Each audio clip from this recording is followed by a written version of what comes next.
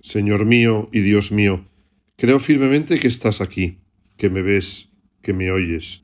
Te adoro con profunda reverencia. Te pido perdón de mis pecados y gracia para hacer con fruto este rato de oración. Madre mía Inmaculada, San José, mi Padre y Señor, Ángel de mi guarda, interceded por mí. Cuando contemplamos la vida de Jesús y después la vida de sus seguidores, de María, de los santos, no nos queda ninguna duda de que lo primero siempre es la caridad, es decir, el amor.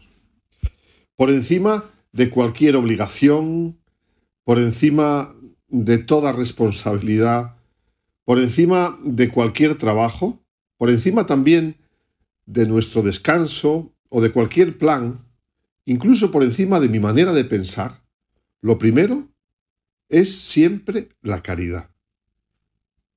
Este es el orden correcto. O mejor, este es tu orden, Jesús. Un sábado te ocurrió lo siguiente, y nos lo cuenta el bueno de Lucas. Jesús entras en casa de uno de los principales fariseos para comer y ellos te estaban espiando. Qué cansinos son, pero en fin, ahí están, siempre vigilando a Jesús, con sus miradas un poco vacías. Y tú, Señor, ibas a sus casas, te arriesgas, porque te gustaría que cambiaran de actitud. Había allí delante de ti un hombre enfermo de hidropesía, es decir, Tenía edemas por las piernas, por los brazos, estaba el pobre hinchadísimo, con dolores, fastidiado. Y tomando la palabra, dijiste a los maestros de la ley y a los fariseos que estaban allí en aquella casa, ¿es lícito curar los sábados o no? Ellos se quedaron callados. Jesús les tapaste la boca. En sus corazones, que tú conocías, había cosa torcida. No tenían rectitud. Y eso se veía a la legua. Antes de que ellos te dijeran algo, tú te adelantaste. Y entonces, Señor, tocaste al enfermo, lo curaste y le dijiste, vete a tu casa. Lo primero es siempre la caridad. Lo primero es hacer el bien, siempre, en toda ocasión. Lo primero por encima de cualquier cosa, incluso por encima del sábado, es la caridad. Y a aquellos que te escuchaban, Señor, les dijiste, ¿a quién de vosotros se le cae al pozo el asno o el buey y no lo saca enseguida en día de sábado? Qué importante era para aquellas gentes el burro, el buey, era el coche, era la furgoneta del momento y no pudieron replicar nada, porque les dejaste callados. Lo primero es la caridad, es nuestro máximo interés. Hay un chiste muy malo que seguro que conoces, pero bueno, eh, para hacer un break. Son dos señoras que... Bueno, es que es malísimo, ¿eh? Pero bueno, lo voy a contar. Son dos señoras que están ahí hablando en la cafetería y bueno, no sé, estaban haciéndose confidencias.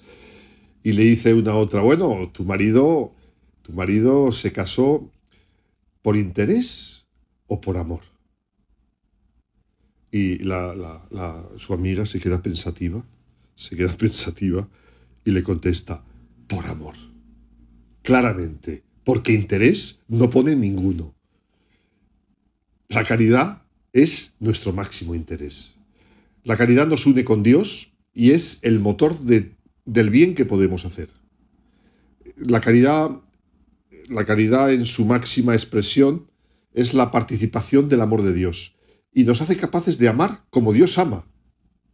Por eso la caridad es de todas las virtudes, de todas las cosas buenas, que de todos los hábitos buenos es la reina. Es el mandamiento nuevo que nos dio Jesús. Amad es la base de toda nuestra vida cristiana. Se podría decir que es el distintivo de los auténticos cristianos, es nuestro logo, nuestro PIN, nuestro DNI. Y en la caridad se encuentra el núcleo Pues de tu predicación, Señor, tu mandamiento más importante. Y por eso el amor, la caridad le da vida a todas las cosas buenas, a todas las demás virtudes. Es necesaria para que todas las demás virtudes sean virtudes de verdad. Porque sin la caridad, todo lo demás, todas las virtudes están como muertas. Es la madre de todas las virtudes. Por ejemplo, yo puedo ser amable y soy sonrío y soy muy amable, pero solo con el fin de obtener una recompensa. Sin embargo, soy amable y con la caridad hago que, que, ese gesto sea un gesto desinteresado por amor a los demás. Hay un poeta no cristiano, precisamente ateo, que también lo vislumbra, la importancia del amor, de la caridad. Quiero ir con aquel a quien amo. No quiero calcular lo que cuesta. No quiero averiguar si es bueno. No quiero saber si me ama. Quiero ir con aquel a quien amo.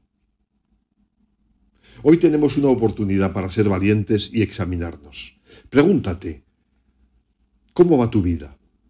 Y la pregunta clave es esta, ¿haces todo por amor? ¿Es el motor, la intención, lo que realmente deseas?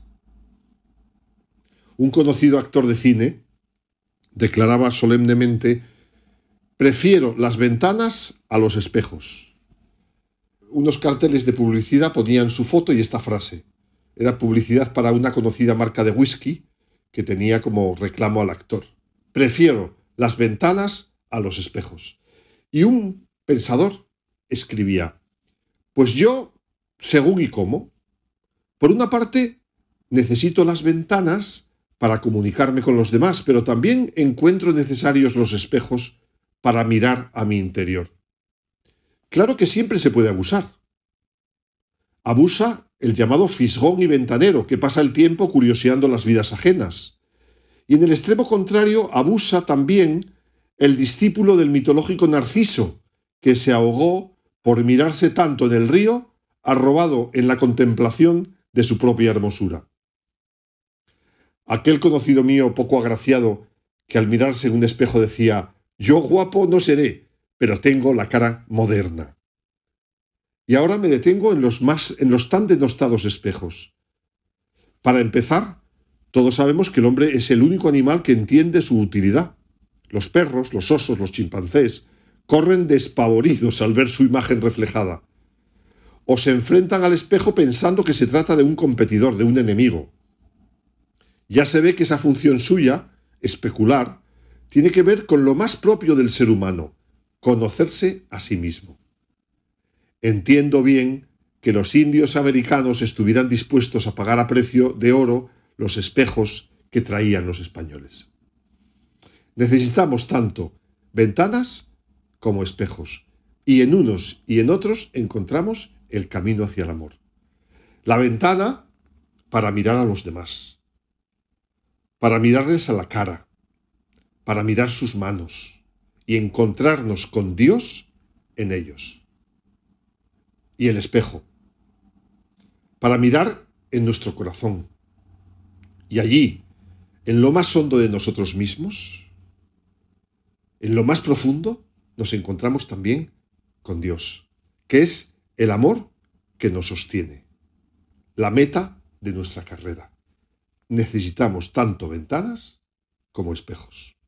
El amor es el alma, el principio vital de la vida auténtica.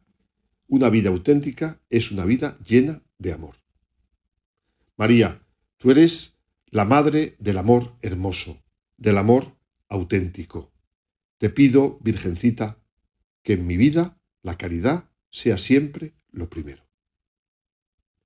Te doy gracias, Dios mío, por los buenos propósitos, afectos e inspiraciones que me has comunicado en esta meditación. Te pido ayuda para ponerlos por obra. Madre mía, Inmaculada, San José, mi Padre y Señor, Ángel de mi guarda, interceded por mí.